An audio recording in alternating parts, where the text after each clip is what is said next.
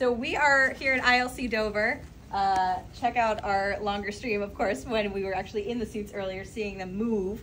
Uh, but we're talking about the fabrics here today, all of these different layers and how it all comes together, and of course supports all of that pressure from the inside. Um, so I'm here with Connor. Connor. Yeah, Connor Chappell. I work on the, the ESOC program or the EMU for ISS. Um, there's that spacesuit, but here we have the, the advanced suits, but they generally they, they kind of lay up the same. Um, but yes, we're just kind of talking about generally like from what you're wearing right now to the outside layers on a spacesuit. Um, so I'll start from the bottom on this one. Um, is very similar to what you what you see right there, the LCVG or the liquid cooling and ventilation garment. Um, you generate a lot of heat when you're in the spacesuit, so the human has to be cooled off. So that's what provides all these little tubes have cold water running through them. Um, and then going into the suit itself, right? It's it has to hold air. It's a pressure vessel. Um, so this yellow layer is really your, your pressure retaining layer. Um, you kind of said it, it, feels rubbery. It's a it's a urethane kind of coated fabric, um, and that's what really holds all the air in. Um, so you can call this like kind of the balloon, if you will. Um, then you have this outside layer on top of that.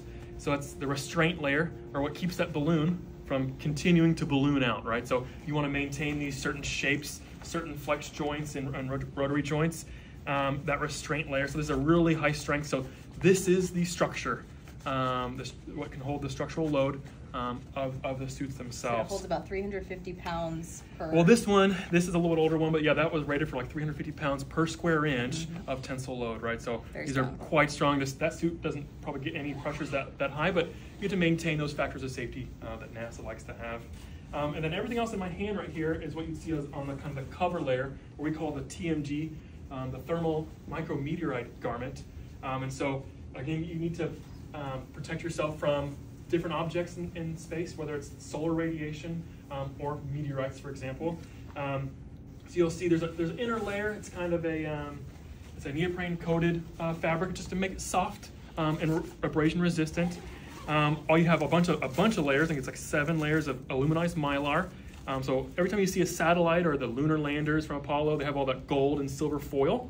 Same deal, right? It's that's that insulation layer, or even on the um, James Webb, um, all those layers as well. So to kind of keep you that all the heat out, uh, or to keep the cold in, or whatever it is, um, you have all those um, layers right there. And then last, um, you have this we call the ortho fabric. Yeah, so you see all these those reinforcement um, ripstop kind of grids, and that's the, that's the Kevlar uh, reinforcement on there. So every spacesuit that you see going forward from Apollo uh, or from uh, EMU going forward, even the next generation suits, whether it's this one or, or others, will have this kind of same outside white fabric. And right